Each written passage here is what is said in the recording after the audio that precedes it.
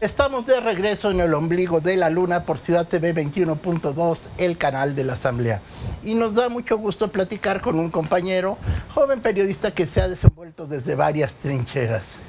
Él es reportero y conductor junto con Salvador García Soto y Carla Pulido del noticiario La Ciudad y el Mundo, en su emisión matutina por este canal el 21.2. Recibimos a Alejandro Alfaro. Bienvenido. ¿Qué tal? muchísimas gracias, doctor. Muchísimas ¿Qué gracias. tal? Y bueno, pues ahora sí, cuéntanos, llevas una trayectoria que te ves muy joven, la gente te ve muy joven, pero no sabe que llevas un ratote ya en el periodismo. Sí, ya, ya tengo muchísimo tiempo. Empecé, empecé muy, muy chavo en esto de los medios de comunicación. Arranco en el, si no mal recuerdo, por ahí del 99, con tan solo unos añitos, unos 19 años. Empecé a trabajar en Radio 13, en, el noticiero de la Ala Z, era yo guionista de Abraham Zabludowski en ese entonces. Y me aventé ahí como dos años más o menos, un par de años. Ya después me, me hablaron para entrar a, a, la redacción de Guillermo Ochoa en Grupo Asir. Y de ahí pues ya me aventé unos cuantos añitos en radio. ¿Por qué estudias comunicación? Pues prácticamente es como el, toda la, trayectoria familiar, ¿no? Mi papá estaba también metido en esto de los medios de comunicación y me empieza a mí a gustar esa parte, sobre todo eh, la parte de radio, la creatividad que luego debe de tener uno para, para esto de los medios de comunicación y es lo que pues, me llama para, para empezar a estudiar esta, esta carrera. Y bueno, en, parece mentira, en este tiempo cómo ha cambiado el periodismo, porque ahora ya somos la ciudad más peligrosa, digo, el país más peligroso para ejercer el periodismo. Pues sí ha cambiado bastante y ahorita cuando sale uno a la calle puede ser cubrir una manifestación, una conferencia de prensa y ya de verdad ya uno no sabe qué se puede encontrar, ¿no? Una manifestación se puede tornar violenta en cualquier momento, este, igual una conferencia de prensa. Ahorita, por ejemplo, que acaban de no mucho concluir las campañas, pues de repente ibas a cubrir a cierto partido, llegaban de otro instituto político contrario y empezaba igual a tornarse violento. Ya cosas que antes era muy, muy, muy difícil que, que sucediera. sucediera ¿no? Te han tocado mm, tres procesos electorales me imagino, ¿no? Más o menos. Más o menos, más o menos. ¿Y, cómo consideras este que acaba de pasar? ¿Sí ha sido el más violento, como han declarado algunos medios? Pues sí, sí, por la violencia política que se generó, los, pues, tanto este asesinato a, a, candidatos en el interior de la República, este pues prácticamente había, se, podía hasta pensar que, que, el crimen organizado era el que estaba poniendo candidatos, ¿no? Era de que pues, tú no me gustas y atentaban contra su vida y lamentablemente muchos perdieron la vida. Hemos nosotros este, comentado y, e informado en la mañana que pues, son alrededor de, casi 50 los candidatos que perdieron la vida durante este proceso electoral. Más los políticos que no eran candidatos y que también En total son alrededor de 150 y son sobre 300 ataques los que se registraron durante este, este proceso. Entonces, histórico por esa parte, la violencia política, histórico por la participación ciudadana que se dio, e histórico por la votación que alcanza Andrés Manuel López Obrador, ¿no? un 53%. Creo que el que le seguía en esa parte de, de recibir tanta votación era este Ernesto Cedillo, ¿no? en, en el proceso electoral en el que Ernesto Cedillo se vuelve presidente y bueno, y también mucho con en respuesta a mucha violencia, ¿no? A muchos conflictos también, pues la votación de Ernesto Cedillo, ¿no? Sí, sí, sí. O sea, recordemos toda, toda esta parte de las, las, crisis, la gente estaba ya como, pues ya un poco harta también. Lo que ocurre también en este proceso electoral, ya también la gente cansada de un partido, de, un Oye, pero a la gente lo que le interesa luego saber es qué, cuáles son las peripecias de un reportero cómo se gana una nota, cómo se gana una entrevista, qué cosas eh, curiosas le pasan. El anecdotario que siempre en cualquier reportero es muy rico. A ti cuéntanos qué cosas te han pasado, qué, qué ha sucedido con... Bueno, pues al principio eh, que empieza uno a, salir a reportear, ya sabes, va uno muy, muy, muy arregladito, muy todo, y pues bueno, entre los famosos chacaleos, que es cuando estiras el micrófono para, para este, tratar de alcanzar una declaración o algo, bueno, todo pisoteado, este, es el, te, te pueden llegar hasta pegar con las cámaras en la cabeza. Este, por ejemplo, ahora me tocó la, ir a cubrir la votación de Andrés Manuel López Obrador. Y estaban transmitiendo en vivo para el programa que se hizo especial aquí en Ciudad TV. Y estaba literal colgado, agarrado con un brazo de un tubo, con el otro tratando del, del el micrófono, estirando el micrófono. Y en eso un camarógrafo que estaba este, en una barda literal subido, se echa para atrás y me patea la cabeza en plena transmisión, entonces no te puedes ni quejar. Este, no, no, no. Es, sí que no es- puedes ni decir, sí, ay, no puedes porque decir, sale, no, a, claro. sale a cámara también, ¿no? Entonces ya después del enlace, pues ya me empecé a reír, el otro reportero así de, oye, discúlpame, y pues ya todo, todo Y el patadón en la cabeza, ¿no? Parecía, parecía almohadazo ya, ¿no? Y otras, una entrevista que te haya especialmente gustado, que dices, ay, mira, logré que se abriera el personaje, logré que me contaran una historia.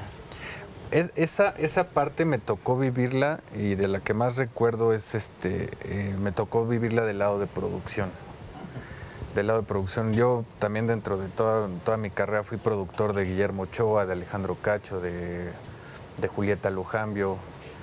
eh, y en la parte con, con Alejandro Cacho tuvimos, me acuerdo, una entrevista con, con Vicente Fox. Y en esa entrevista como que se- logramos que Vicente se abriera, pese a que era una figura pues, ya presidencial, pues se abriera y, y ya hasta fuera de cámaras ya hablara de, de- perdón por mi francés, pero ya hablara de güey y todo. o sea. Y la verdad fue una entrevista que duró sobre 45 minutos, pero se nos fue el tiempo rapidísimo porque empezó a platicar pues como anécdotas y cosas que le habían sucedido durante, durante el proceso electoral, durante sus campañas, el acercamiento con la gente, pero desde como desde un lado más, más humano, no Más tan, personal. no tan, tan en la línea política ni que, que guarda uno un, un presidente. ¿no? ¿Él sería el personaje más significativo con que hayas tenido contacto o entrevistado? Pues ah, es que ha habido de todo, ¿no? O sea, personajes así, este, pues de altura podría hablarse de, de- de- de Fox. Personajes, o sea, de, de, de tú a tú, pues me tocó entrevistar a gente ahora con, con lo del sismo, gente que pues de verdad te toca ver y es muy difícil luego ver el, el- ver la cara de sufrimiento, ver Hacer la la cara de pregunta, angustia. ¿no? Al- Sí, o sea, ¿Qué haces ahí como reportero para que no te toque el corazón, para que... mm, no puedes. ¿Qué, qué? Híjole, no, no puedes. Y, y, por ejemplo, a mí me tocó el Repsamen. Entonces, había veces que entrábamos al aire y, y- y se te hacía un nudo en la garganta, ¿no? Y era difícil, pues, de empezar como a tratar de transmitirle a la gente lo que estabas viviendo, todos los esfuerzos que se estaban haciendo para rescatar ¿Pero qué haces y para me no tocó la parte la- de-? Sofía. No, bueno, o sea, hubo, hubo ratitos que sí, aquí mis compañeros como que me ayudaron en la parte de que yo creo que oían que ya se me estaba como trabando y, entraban al aire y pues yo así de rápido, rápido, Sí, piensa otra cosa, piensa otra cosa. Y, este, y pues ya después continuar y seguir diciendo pues lo que estaba ocurriendo ahí en el colegio, ¿no? Y más que me tocó ver una parte de los papás cuando iban a preguntar, este, no, es muy, muy... Cosas que llegaba yo, tengo una, tengo una hija hermosa de dos años y medio, y llegaba y lo primero que hacía era abrazarla y, y, pues, de repente te, te salía la lágrima, ¿no? Porque desgraciadamente te pones a pensar y luego hasta te sientes medio envidioso, ¿no? Porque te pones a pensar, si, me- si hubiera sido yo, qué bueno que no fui yo y, y te pasan mil cosas por la cabeza y pues son partes fuertes que te toca vivir dentro del, pues, como reportero, como comunicador. Y felices, partes felices, porque ahorita ya nos, pus- te nos pusiste muy dramático ya, y ya vamos a llorar. No, partes felices, pues empiezas a conocer muchísimas cosas, eh, muchísimas cosas que, que te... mm, Me tocaba, recuerdo cuando fui productor en radio, nos tocaba salir a, a platicar de repente de los estados y eso nos tocó una, este, una gobernadora, este, Ivonne Ortega, ¿no? que nos llevó a un lugar donde ella de chiquita iba y compraba pan y se lo comía, nos invitó a comprar unas conchas, imagínate, en Yucatán pues, con el calor no se te antoja la concha, pero bueno, No, tienes sí. que- y riquísima, ¿no? Riquísima, y conoces así lugares y te das cuenta que, que nuestro país es, es precioso, ¿no? Es precioso, es rico, es... La verdad no conocemos ni, creo que ni la décima parte de nuestro país y hay cosas... Y bueno, y además esta es también parte de nuestro trabajo, trabajo. ¿no? Es ir a contarle a la gente que este país es maravilloso también, así como es dramático y es doloroso, también hay que decirles que es maravilloso, que es sabroso, que es... Que hay una variedad enorme, ¿no? Y que pues le puede uno apostar a la vida, ¿no? Sí, y lugares este, que ni te imaginas, por ejemplo, aquí en la ciudad hay muchísimos lugares que no conocemos hasta nosotros como capitalinos y que son lugares donde puedes pasar un fin de semana inolvidable en compañía de tu familia. Es, es, muy, muy rico también esa parte y que el ser reportero, el comunicador, pues tenemos la oportunidad luego de vivirlas. Oye, pero ¿y si no hubiera sido reportero, qué hubiera sido? Porque ya nos dijeron que te gusta las carreras de coches. no, bueno, pues es que tengo uno, un gran vicio, son lo que son los coches, este y pues poco a poco empecé a tratar de, lucharle en esta parte de lo de las carreras. Y ah, pues ya, sí, ahí estoy dando una entrevista en el Autódromo Hermano Rodríguez. Y por ahí del 2009 arranco con esta aventura de, de los coches en sí estuvo súper chistoso porque el coche que yo tenía en ese tiempo, pues lo empezamos a preparar entre los, entre los mismos amigos, a pintarlo, tratar de prepararlo para carreras. Yo siempre decía que nuestro color del coche era entre rojo, azul y buenas noches, porque nadie sabíamos como tal pintar un coche. Y pues a partir del 2009 empiezo con esta aventura de las carreras y pues a seguirle y hasta la, hasta la fecha. Ahorita corro en la TC2000, en el campeonato del Autódromo Hermano Rodríguez.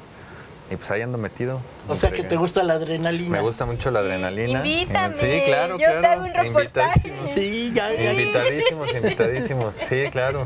No, y la verdad, me acuerdo la primera vez que corrí en el Hermano Rodríguez, bueno, la catedral del, del automovilismo en nuestro país. Sí, salí, bueno, como Magdalena, ¿no? Porque pues había logrado este sueño de correr.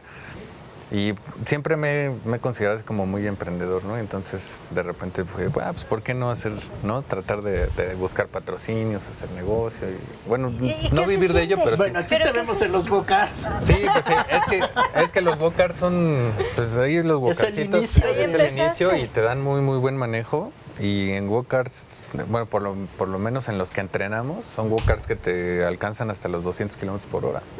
Así como los ven de chiquitos. ¿Ah, sí? ¿Qué se siente cuando llegas a ese nivel de... O sea, ya, yo creo que ya hay un punto en el que no se siente nada. No sé, a ver, explica. La verdad es que te, te, concentras mucho. A ver, hay algunos loquitos como yo que se concentra cantando, entonces de repente voy, pues literal corriendo y, cantando o narrando mi propia carrera, ¿no? Para tratar de concentrarte. Y sí, he tenido un par de accidentes bastante fuertes, pero pues es mucha seguridad con la que corres, entonces pues nada más te bajas como molesto por haberla regado, ¿no? A ver, cuéntanos qué vas cantando. Cántanos un poquito. Y no, no, no, no, no, ahí sí, ahí sí no, porque se, se cae el rating, se cae el rating. No. Pues se va a escuchar mal y van a pensar que me voy a colgar de, de la fama ahorita de Luis Miguel, pero voy cantando algunas canciones de Luis Miguel de repente. Muy actual sí, sí, sí, sí, sí, para, actual, para no pensar en nada. Y este, y, o luego pues voy narrando mi carrera, ¿no? Ahí ya sabes de que, ay, voy en tercer lugar y en cuarto, en quinto, lo que vaya, o voy tomando la curva o así. Así chistoso, pero pues luego me concentro. ¿Y no has hecho el reportaje dentro de la carrera? Mm, pues no, ¿eh? No, la verdad es que ya, ya, ya, está aquí invitadísimo para, para, el reportaje. Sí, no, la verdad es que no, este, o sea, sí, siempre he estado como un poco separado esa parte de, mi chamba con, con lo del el vicio. También hubo un tiempo que me dedicara, este, o sea, siempre he estado trabajando en medios, pero pues me doy mis escapaditas. Hubo un tiempo que empecé a restaurar autos clásicos. Entonces, este, y hasta los lleva a exposiciones y todo. Entonces, es mi, mi vicio, ¿Te queda una de esas carcachas? Ahorita sí tengo una nada más. Ya me el consentido, ¿no? El consentido, un Caribe GT del 1985. Clásico, pues, ochentero. Es ochentero, ochentero, ochentero, y ya piezas muy raras, por cierto. Bueno, pues muchas gracias por estar con nosotros. ¿Algo más que quieras agregar? No, pues, pues gracias a ustedes, de verdad. Y para mí, bueno, agregar algo, pues es un honor trabajar para Ciudad TV. Bueno, parte del equipo he hecho mucha amistad con, con los camarógrafos, sobre todo, que luego hay que estarlo soportando de verdad. Sí, es- híjole. No queda de otra, pero pues, Este, luego el pronter también, ¿qué les puedo decir? Que ya después se empiezan en producción, pero bueno.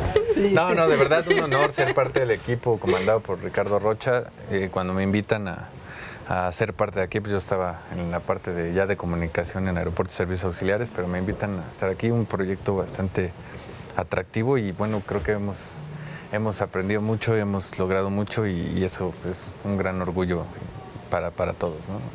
Pues muchas gracias Alejandro Alfaro. Muchísimas gracias a ustedes muchas por la invitación. gracias.